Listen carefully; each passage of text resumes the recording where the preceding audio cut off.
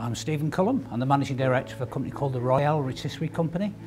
I've been involved in spit roast machines for over 20 years.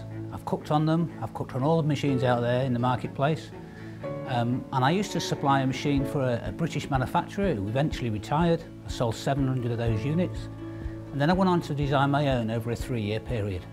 And I now have what I believe is the best British spit roasting machine and the widest range of accessories anywhere in Europe and the UK. We're going to the UAE and I'm really, really excited about this opportunity. I've teamed up with an executive chef, Thomas Harker, really high-end chef, absolutely uh, proud to have him on board, um, delighted to have him on board, and I think Tom and I can open really exciting markets over there. My name is uh, Thomas Harker, I'm the executive chef in Abu Dhabi. Wherever you go in the world, food is the same, but you'll always get that regional flavours, the regional spices. In the Middle East, it's very much tradition. The Arabic food, the Bedouin uh, people that would travel around the deserts within the Arabian Gulf had chickens, they had lamb, like we have, but obviously they cook them different on open fires.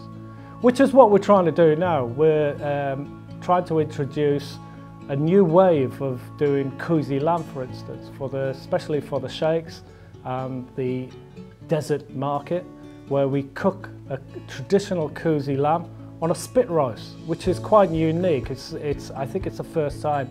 But what it does, it gives the, the customers and the very much into show this wow factor. You walk in, you've got a whole lamb rotating on a beautiful spit roast.